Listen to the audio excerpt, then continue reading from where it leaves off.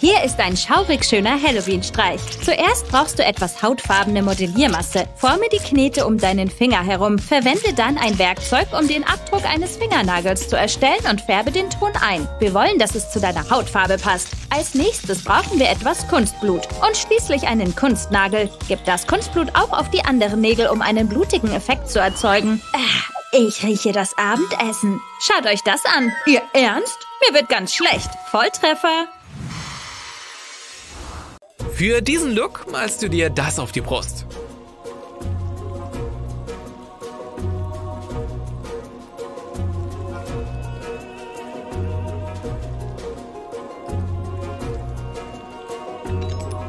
Für die Mischung brauchst du eine Schüssel.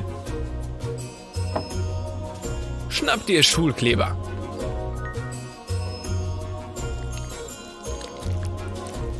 Und gieß etwas davon rein. Dann noch etwas Mehl dazu.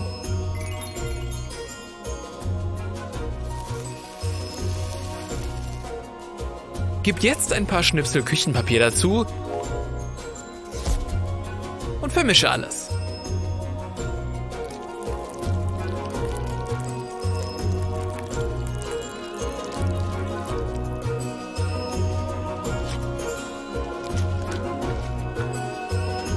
Nimm einen Eisstiel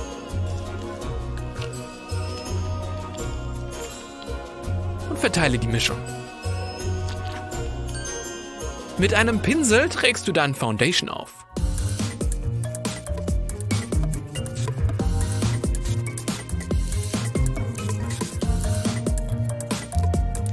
Wichtig ist, dass es mit deinem Hautton verschmilzt.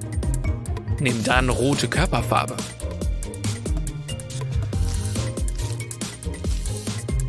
Und male den oberen Bereich an.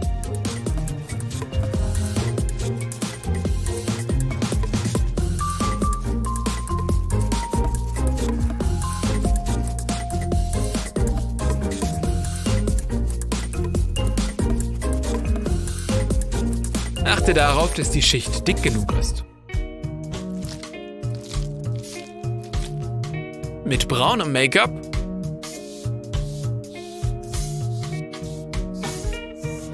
machst du dann solche Markierungen. Dann verblende sie ein bisschen.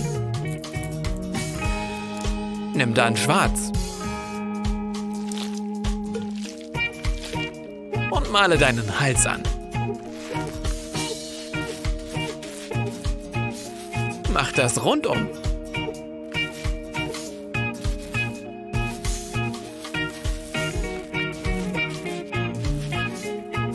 Vergiss die Stelle hinter den Ohren nicht.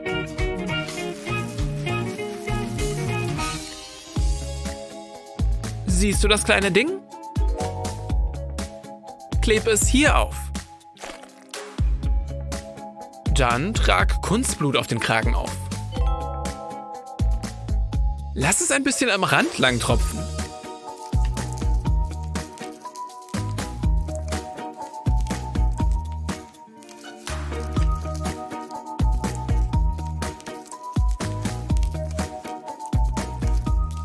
Trage auch etwas auf das Ding auf.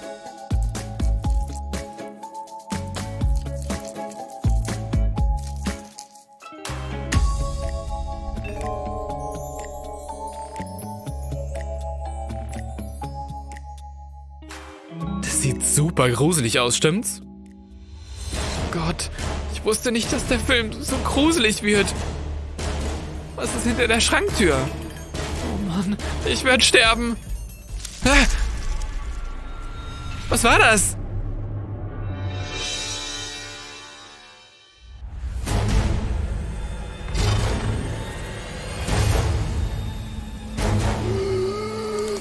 Hilf mir, Alex.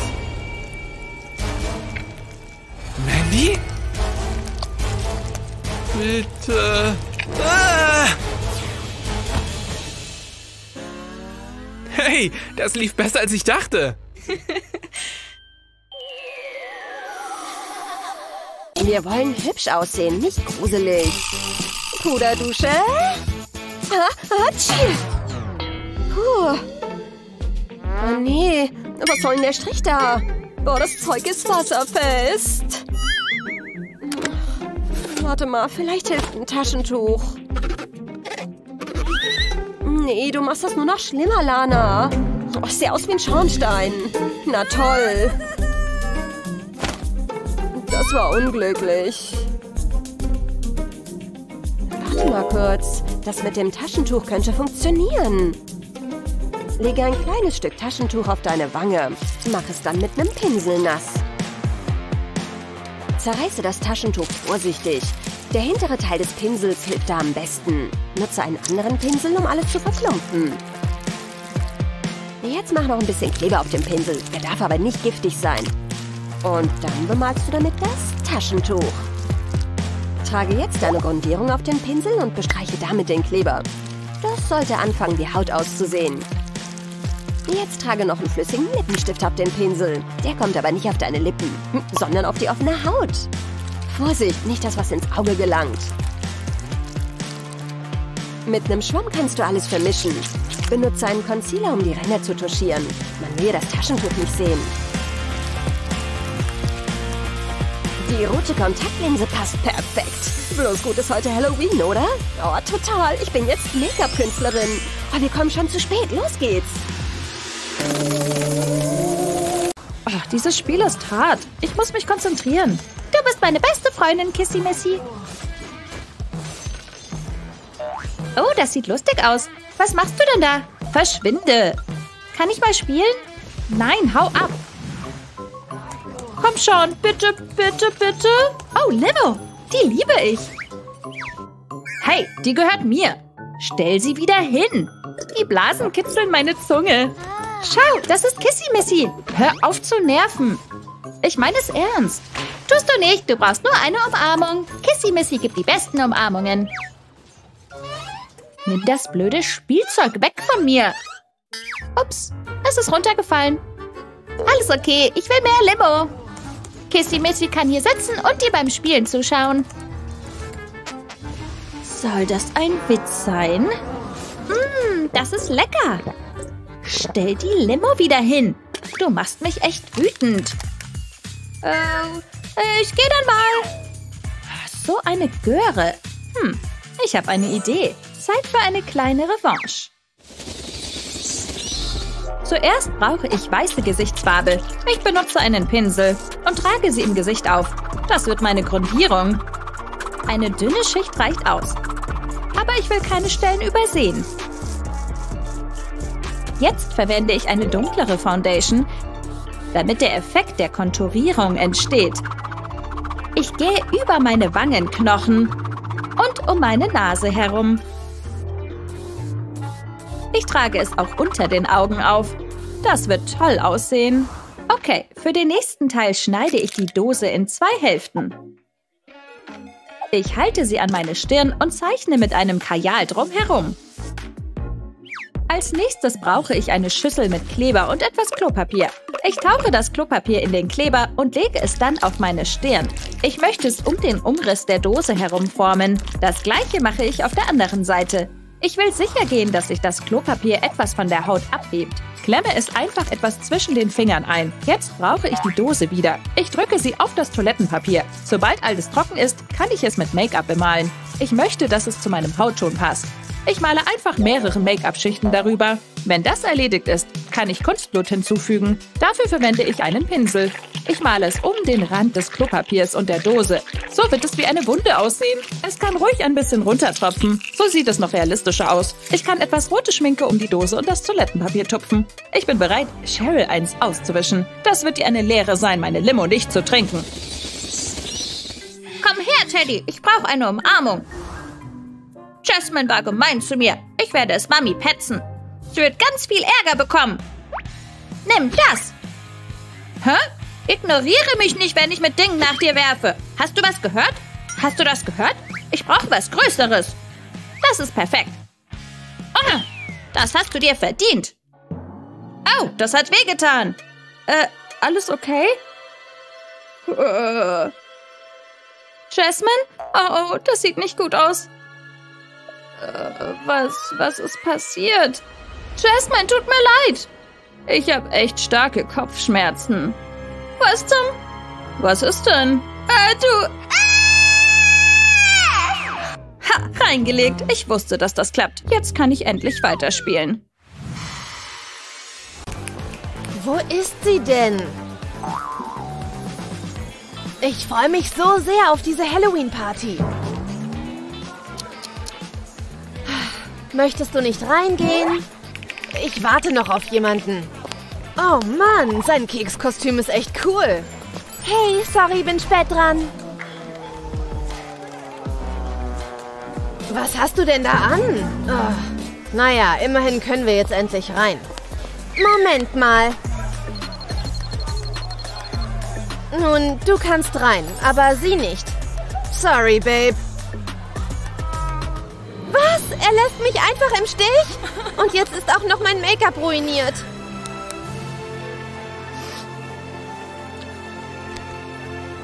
Ich muss was tun. Ich entferne mein Make-up. Dann lege ich dieses Taschentuch auf meine Wange und befeuchte es. Das klebt nun von alleine. Muss nur dafür sorgen, dass alles nass wird.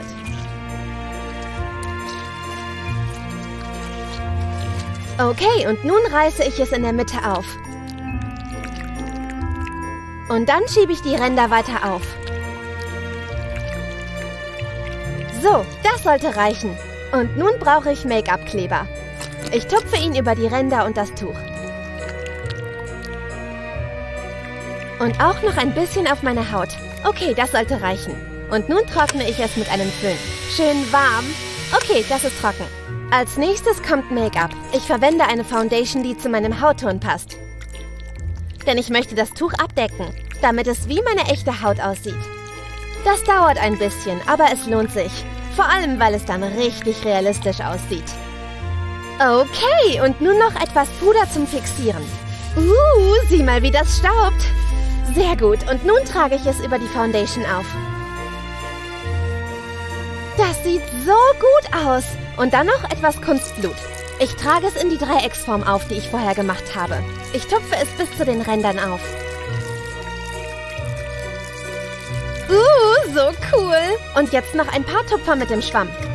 Fertig! Auf der einen Seite bin ich normal und die andere Seite ist super gruselig. Die gruselige Kontaktlinse vervollständigt den Look noch. Und nun wird mich niemand mehr im Stich lassen.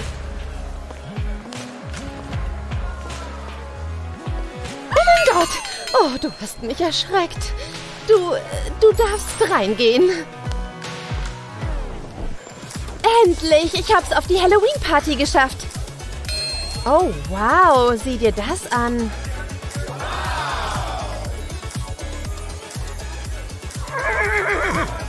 Hey, sie hat es reingeschafft. Hey! Nix hey, bis dann.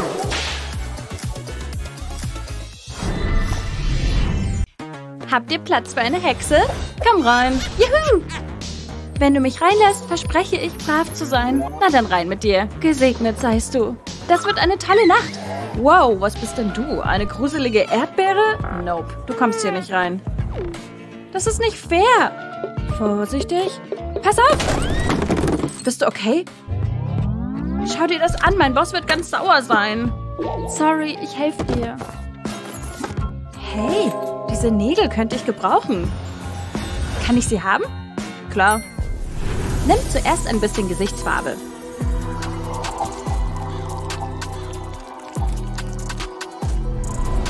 Klebe dann ein Stück Küchenpapier darauf. Bedecke dieses mit noch mehr Schminke.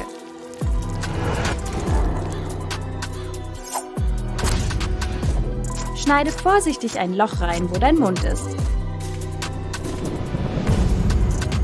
Male dann deine Lippen mit schwarzer Schminke an. Und Blut darf bei einem gruseligen Kostüm natürlich auch nicht fehlen. Dann stecke vorsichtig die Nägel durch das Papiertuch.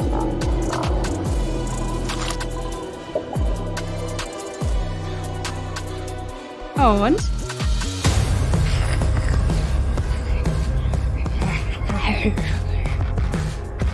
Ein einfaches, gruseliges Kostüm. Dann mal ab zum Club. Kann ich jetzt rein? Hey, was habe ich dir gesagt? Keine Früchte. Und was ist? Jetzt.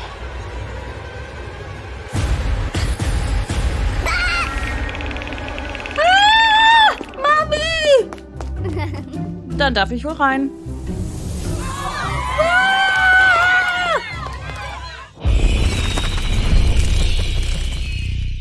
Die meisten können um diese Zeit leicht erschreckt werden. Außer Lana. Betty, ich weiß, dass du das bist. Ich habe doch keine Angst vor Klebeband, Betty. Bis dann. Bin ich hier die Einzige mit Halloween-Spirit? Das ist eine Menge Plastikfolie. Nimm einen Streifen Plastikfolie und wickle damit deinen Unterarm ein. Mach das so lange, bis du ein paar Schichten hast. Klebe sie dann mit Tape ab, damit sie nicht verrutscht. Schneide dann mit der Schere entlang deines Unterarms. Klebe den Folienarm wieder zu, ohne deine Hand darin. Toller Plastikkörper. Fehlt nur die Beleuchtung. Klebe die Gobi RGB IC LED-Streifen drauf und das am besten längs. Lege nun einen größeren Plastikkörper darüber. Noch mehr Klebeband hält alles besser zusammen. Jetzt zu den Armen. Ja, wir brauchen mehr Tape. Und jetzt Showtime. Wir dürfen den Kopf nicht vergessen. Welche Farbe wählen wir mit der Gobi-App aus?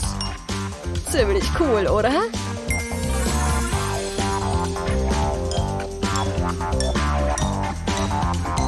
Das lässt Lanas Blut bestimmt gefrieren. Sie ist zurück. Warum ist es hier denn so dunkel? Oh, das wird fantastisch. Mal sehen. Betty, bist du zu Hause? Haben wir Stromausfall oder sowas? Ich sehe mal nach. Es funktioniert. Betty? Was geht denn hier vor? Seht ihr nur das Gesicht an. Zeit für die Gobi-Gruselbeleuchtung. Boah, sieht doch ziemlich gespenstisch aus, oder? Ich kann sogar die Farben wechseln. Hallo? Bitte tu mir nichts. Ich will nicht sterben. Oh Gott, oh Gott. Mit der App ist das so leicht. Und jetzt wird geblinkt. Das coole Flimmern gibt dir bestimmt den Rest.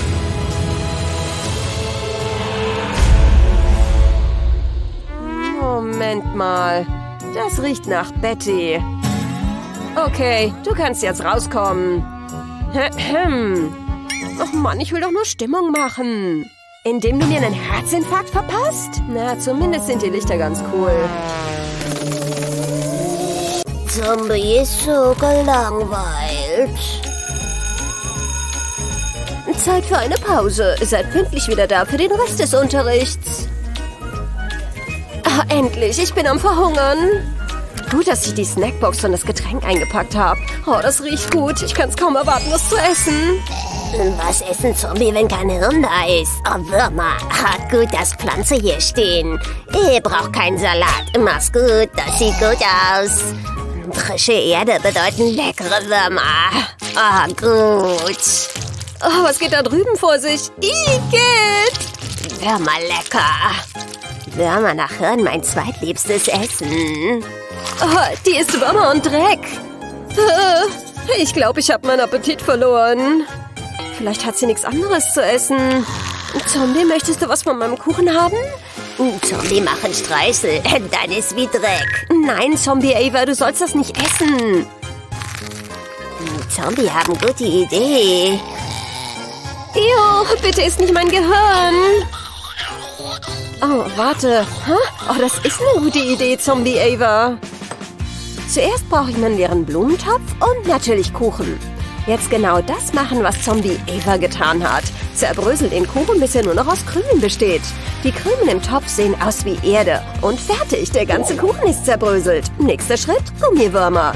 In den Topf kommen sie mit dem zerbröselten Kuchen und dann ist es Zeit, den falschen Dreck und die falschen Würmer zu essen. Zombie Ava, du hast recht, das ist köstlich. Zombie ist guter Freund. Hier, Wurm von Zombie. In Ordnung, Klasse. Ich hoffe, ihr hattet eine schöne Pause. Was geht denn hier vor sich? Esst ihr Würmer? Ach du meine Güte, dafür werde ich nicht genug bezahlt. Hallo, Frau Lehrerin. Möchten Sie was von unserem Snack? Nee, möchte ich nicht. Niemals. Okay. Zombie muss trinken. Ah, Spinnsaft ist gut. Ah. Das ist richtig entspannend. Ein kleiner süßer Kürbis. Was war das? Wahrscheinlich nichts. Hä? Hallo? Wer ist da?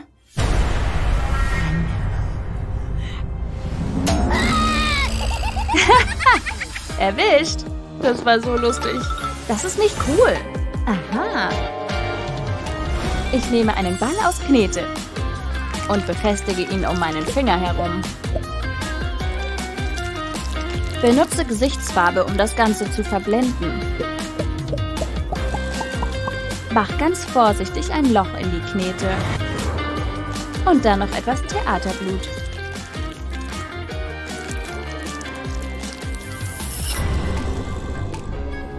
Haha, ein gruseliger, blutiger Finger.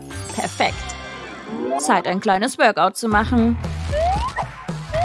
Das ist viel zu leicht. Äh, äh. Nimm dich besser vor Monstern in Acht. 1002. Ah! Mein Finger! Ah! Dein Finger!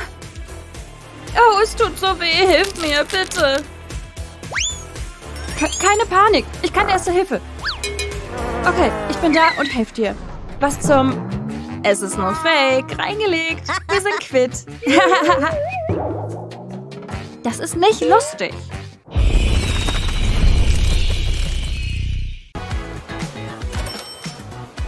Der Song ist toll, oder? Hey, ich habe dir einen Drink mitgebracht. Äh, was soll das? Sie drängelt sich einfach dazwischen. Unfassbar, dass sie mir einfach den Typen wegschnappt. Bringt ihm einfach ein Getränk. Ugh. Huh. Sieh mal an, Tintenfische. Ja, ich glaube, ich kann da was gegen unternehmen. Okay, dafür brauche ich etwas Maskenton. Ich drücke ihn flach und wickle ihn um meinen Daumen. Ich drücke ihn rundum an und forme eine Spitze. Und dann glätte ich alles. Okay, das sieht ziemlich gut aus. Jetzt brauche ich noch diese kleinen Kreise. Ich klebe sie der Länge nach an. Das ist gut so. Und jetzt noch etwas Farbe. Mit einem Pinsel trage ich diese rosane Farbe auf. Sie passt zu meinem Hautton.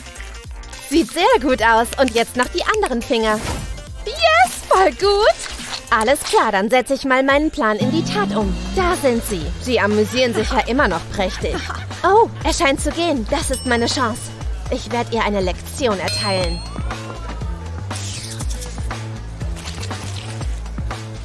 Wer bin ich? Monsterhände, Monsterhände! Ha, wo ist sie hin? Oh, sie musste weg. Aber ich nehme den gerne. Willst du an Halloween für Aufsehen sorgen? Nimm schwarze Körperfarbe zum Ausfüllen. Der Fläche um deine Lippen herum.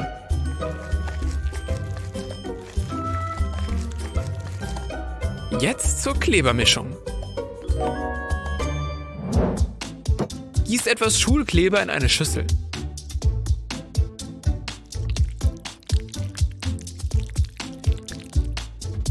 Gib dann noch etwas Mehl dazu. Reiße etwas vom Küchenpapier ab.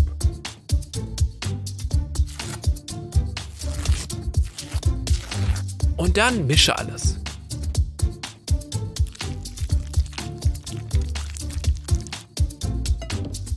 Trage es rund um dein Kinn auf.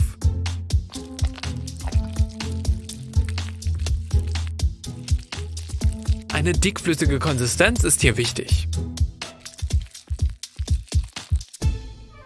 Hast du falsche Fingernägel rumliegen? Schneid sie so zurecht.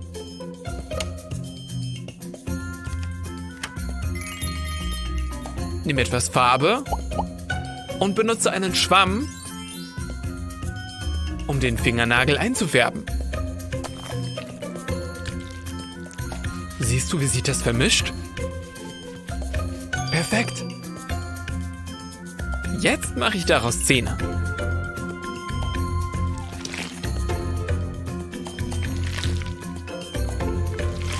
Sie kleben perfekt in der Klebermischung. Nimm dann Foundation, um alles zu verblenden.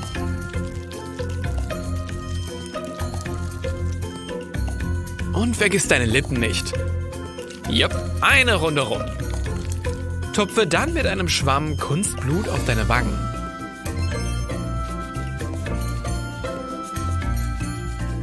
Es kann nie genug Blut sein, stimmt's? Und das war's.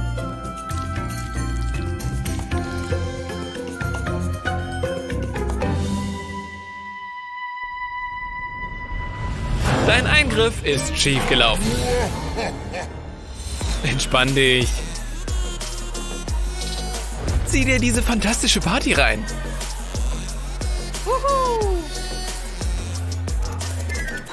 Wow, sein Kostüm ist der Hammer. Ich könnte einen Arztbesuch vertragen.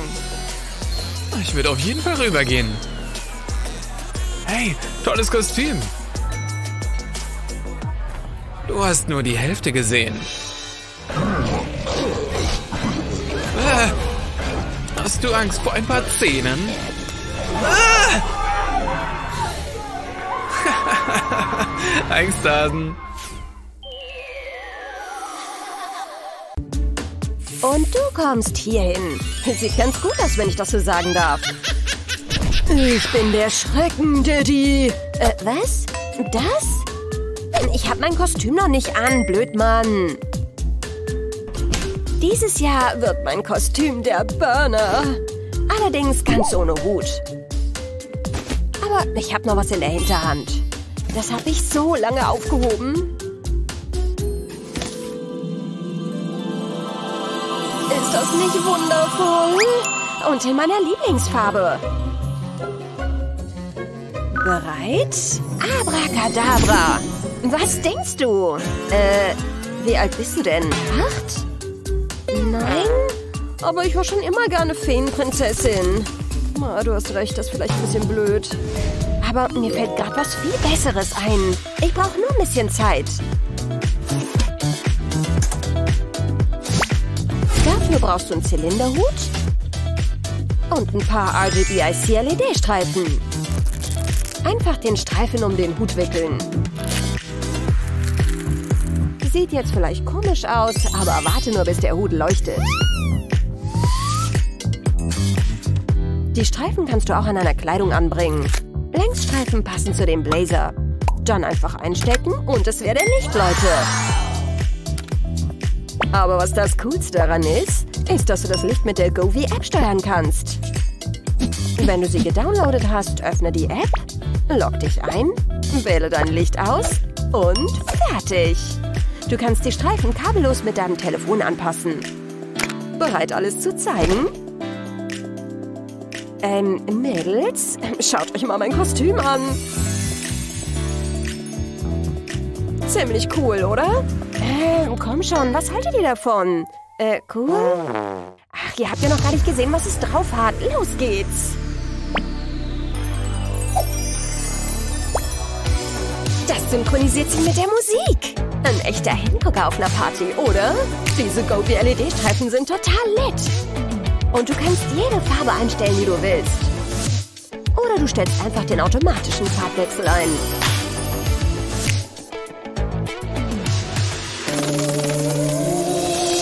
Bang, bang, nimm das. Happy Halloween, mein Süßer. Kannst du mir mit der Dekoration helfen? Oh ja, Mami, sehr gern. Das gruselige Skelett kommt hierhin. Mami, diese Spinnennetze greifen mich an. Schreckliches Toilettenpapier. Yeah. Ein furchteinflößendes Gesicht auf den Ballons. Oh, vorsichtig. Ups. Oh, ich hab's. Bist du okay? Fertig, Mami.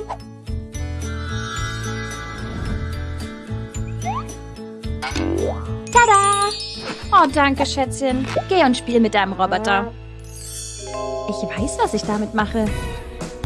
Schäle die Wassermelone. Schneide vorsichtig Rillen hinein und mach das einmal ganz herum.